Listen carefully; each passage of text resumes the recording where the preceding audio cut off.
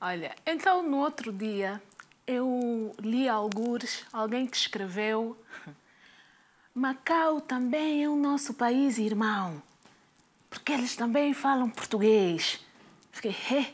Mas a pessoa que escreveu isso deve ser filho único, tá a sentir falta de parente, ok? Que Macau mesmo... Assim, Macau deve ser no máximo dos máximos.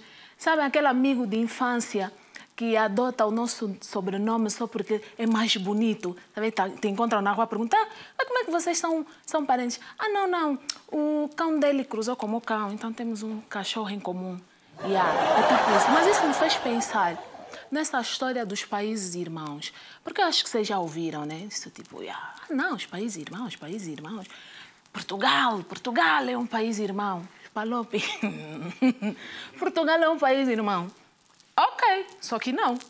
Portugal não é um país irmão. Meus queridos, Portugal é o nosso pai, tá? Quer vocês queiram, porque ser pai exige uma genialidade. Você tem que ser gênio para ser pai. E Portugal, vocês já tentaram emprestar dinheiro para o vosso pai? E depois ir lá pedir de volta o dinheiro? Já? Yeah. É isso que aconteceu com Portugal. Eles emprestaram nosso dinheiro, está com eles até hoje. Sem um pai. Está a entender? Yeah. Depois tem Brasil. Brasil, ai, Brasil também é um país irmão. Hum, hum. Tá, Brasil é aquele nosso primo. Todos nós temos esse primo, sabem? Aquele primo bonito, hum? veste bem, sempre bem cheiroso, bem falante. O primo badalado, está em todas as festas, mas é iludido. É? Tem conta no Banco Mundial da Dívida Histórica, até hoje não consegue pagar. Yeah, esse é o Brasil. Nós temos Moçambique. Ah, sim. Moçambique é um país irmão. Moçambique é aquele nosso irmão, sabe?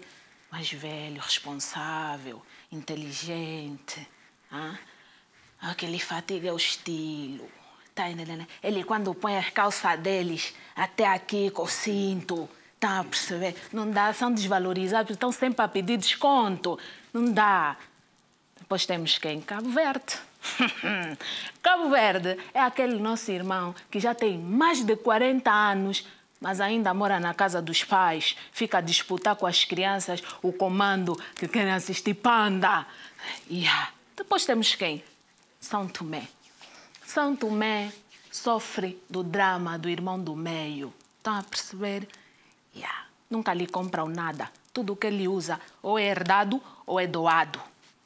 Nós temos o irmão caçula, Angola.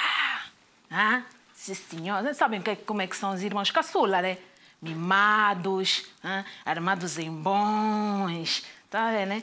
São até bonitinhos, mas mais burros que o próprio Kwanzaa. E finalmente temos Guiné.